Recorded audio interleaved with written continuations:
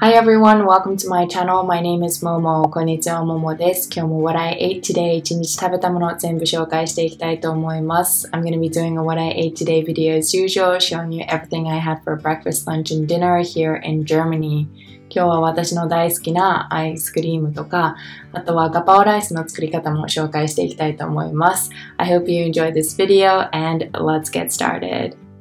朝はいつも通り起きてヨガの練習をした後、スムージーで一日をスタートさせました。もうね、毎回このスムージー出てきてるので言わなくていいかなって毎回思ってるんですけど、いつもと同じレシピです。その後はマンゴーを食べました。So after having my smoothie in the morning, I had mangoes. あマンゴーはすごく好きなんですけど、結構遠くから輸入されてるので、なるべく最近は変わらないようにしています。あのたまに特別に、えっ、と、美味しそうなマンゴーがあったら、買っていますね。はい、すごく美味しいマンゴーでした。で、その後は最近ね、お勉強を朝してるので、勉強しながらこのプレッツェルを食べてることが多いです。彼が毎朝ドイツのパン屋さんに行ってるので、その時にプレッツェルも買ってきてもらって、こんな感じで、えっ、と、お勉強しながらかぶりついています。はい。で、普通の朝ごはんはいつもと同じオートミールヨーグルトです。ソイヨーグルト、豆乳ヨーグルトをボウルの中に入れて、そこにオーツ向きを入れていきます。ロールドオーツよりもこれはクイックオーツを使うのがおすすめです。クイックオーツを入れて混ぜて、あとは好きなフルーツをトッピングしていってください。So for breakfast today I'm having oatmeal with yogurt. I love the combination of oats and yogurt and fruit. So yeah, you can add whatever fruit you like. I'm adding apples, bananas, and blueberries today. 今日はリンゴとバナナとブルーベリーですね。たまにラズベリーを入れたり、イチゴを入れたり、その日の気分で入れるフルーツは変えています。どんなフルーツでも結構合うので、自分の好きなフルーツを入れてアレンジしていってください。これはね、すごい簡単にできるし、朝時間ない方にもすごくおすすめなので、ぜひ、あの、興味ある方はやってみてください。はい。で、バナナは結構細かく切るのが好きなので小さくしていますね。あとはフローズンフルーツを入れると最後すごく冷たくなるので、いつもブルーベリーを入れるときは普通のブルーベリーよりもフローズンブルーベリーを使うようにしています。あのーみんなもこれを作るとき何か一つフローズンフルーツを入れてみてください。そしたらあとはメープルシロップをかけて、で、出来上がりですね。I recommend you to use some type of frozen fruit here, so it makes it super cold and I just think it's better, so definitely give that a go. And then I added maple syrup and that is it. あとはここに、えー、とグラノーラ、自家製グラノーラとかを入れて少しクランチーネスとかも出すとすごく美味しいのでやってみてください。はい、出来上がりです。今日の朝ごはんは見た目はあんまり良くないんですけど、すごく美味しいオートミールヨーグルトでした。It doesn't look good, but it tastes really good. で、その後おやつはいつも食べているオレンジです。オレンジはたくさんマーケットで買ってきて冷蔵庫でキープして、夏はね、お腹空いた時に切って食べるようにしています。たまにオレンジでオレンジジュースを作ったりして、炭酸水と一緒に割って飲んでいます。はい。で、お昼は今日はガパオライスを作ろうと思って、この大豆ミートみたいのを買ってきました。あとは好きな野菜を切っていきます。今日使うのは黄色パプリカと小ネギとニンニクと玉ねぎと、あとはさやいんげんを使いました。でもこの野菜もいつも言ってるんですけど、好きなのを使うといいと思います。人参とか使ってもいいし、あとはナスとか入れてもいいと思うし、ズッキーニを細かく切って入れても美味しいと思います。So I'm making Thai food for lunch today. I'm making a dish called gapao. I don't know if you guys know it. It's kind of like a Thai basil stir fry.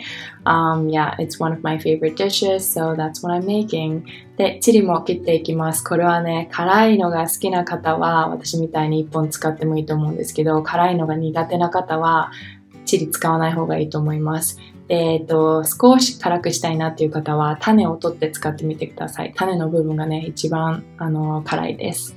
あとはニンニクも切っていきます。このニンニクは彼のおじさんからもらったギリシャの家で自分で育てた、なんだっけこれ、ニンニクだそうです。はい。あとは炒めていきます。フライパンの中に油を入れて、そこにニンニクと玉ねぎと、あとチリを入れていきます。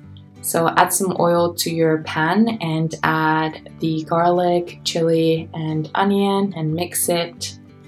で、そしたらそこに今度さっきのビーガンのお肉を入れていきます。これは、あの、大豆ミート。日本だったら大豆ミートを戻したものでもいいし、ない方は豆腐でもいいと思います。あとはお肉が好きな方は、普通にチキンとか、うんと、豚とか好きな野菜あ、好きなお肉を入れていってください。で、ミックスしていきます。少し足りなかったので油をさらに足しました。そんな感じで自分でいろいろなんか調整してみてください。はい、混ぜていきます。So I added soy meat that I bought in Germany. このドイツの私が使ってるソイミートのブランドは結構有名なやつですね。ドイツにいる方はどこにでも売ってると思うので買ってみてください。で、ここに小ネギとサーヤインゲンと黄色パプリカを足しました。で、ミックスしていきます。これはね、すごい簡単にできるし、お弁当とかにね、入れるのにもすごくおすすめなので、ぜひぜひ作ってみてください。はい。で、全部ミックスしたら、今度味付けをしていきます。今日の味付け、ちょっとみんなが持ってる調味料じゃないのかもしれないんですけど、ライトソイソースとダークソイソースを足していきます。この私が使ってる調味料、下の概要欄に貼っておくので、ぜひ興味ある方は、中華料理とかを作るときに、このダークソイソースとか、ライトソース、ソイソース、すごく便利なので、ぜひぜひ使ってみてください。すごいなんか独特な味する、独特な味がする醤油ですね。あの、中華料理、タイ料理とかにおすすめの調味料になっています。ますで、ここに自家製ナンプラーを足していきます。ナンプラーの作り方は私の Cooking with Momo のレシピ本に載っています。で、これをミックスしたら、出来上がりですね。あ、あと最後に少しだけココナッツシュガーを入れました。で、このバジルをトッピングして出来上がりです。このバジルね、すごく大事なので入れるのを忘れないようにしてください。本当はタイバジルを使った方が本格的なガパオの味がするんですけど、今回タイバジルがなかったので普通のバジルを使っています。火を止めてからバジルを入れて、で、混ぜたら出来上がりです。なんちゃってガパオライスです。これね、本当に本当に美味しいので、ぜひみんなに試してもらいたいです。ご飯の上に乗せて、で、あとは卵とか食べる方は卵を乗せてもいいし、あとはたまにフライドガーリックとか乗せたり、ライムとかを少しスクイーズして入れてもすごく美味しいです。さっぱりしたキュウリとかと一緒に食べるとさらに美味しいので、ぜひぜひやってみてください。So this is how it looks in the end. Um, feel free to top it with whatever you like. Uh, sometimes I like to squeeze lime. It's also really good with cucumbers as well, so maybe you can add that as well. And that is it. That was my lunch. これが今日のお昼ご飯でした。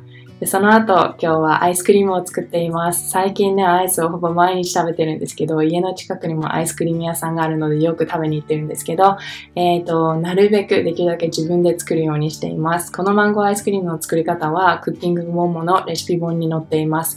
もうね、10秒ぐらいでできるのでおすすめです。で今日はこのパッションフルーツと一緒に食べていきます。パッションフルーツってみんな知ってますかね？結構珍しいフルーツだと思うんですけど、こんな感じで、えっ、ー、と、シワシワができるまで待って、シワができたら切って中の部分を取っていきます。ちょっと私の熟しすぎたんですけど、なんかすごく酸っぱくて美味しいフルーツで、スイカとか、あとはマンゴーとかにすごく合うフルーツなので、沖縄とかで買えると思います。あの、ぜひぜひ興味ある方は夏とか取り寄せてみてください。くださいこのマンゴーアイスとパッションフルーツのコンビネーションは本当に本当に美味しいです。今までいろんなフルーティーなものを食べてきたんですけど、マンゴーとパッションフルーツのコンビネーションはね、本当にあのスムージーとかにするとすごくすごく美味しいので食べたことない方はぜひぜひ今年試してみてください。はい。で、夜ご飯は彼が作ってくれました。彼の得意なピザですね。まあ、ピザぐらいしか作ってない気がするんですけど、最近。でも、あの、はい。こんな感じで美味しいピザを作ってくれました。一つオーブンの中に入っていて、二人で4枚食べてるんですよね。ちょっと食べ過ぎですね。はい。えっ、ー、と、映画とかを見ながら。あとは最後は夜、このオートミールデザートですね。これは今自然解凍させていますね。10分ぐらい自然解凍させるとちょうどいい硬さになるので、それで、えっ、ー、と、映画を見ながら食べています。これのレシピは新しいレシピ本に載ってるので、チェックしてみてください。Alright, thank you so much for watching. I hope you enjoyed this video. これからももっともっと What I Eat Day ビデオとか、えっ、ー、と、レシピ動画も作っていくので、いいなと思ったらいいねとチャンネル登録してくれると嬉しいです。Bye guys!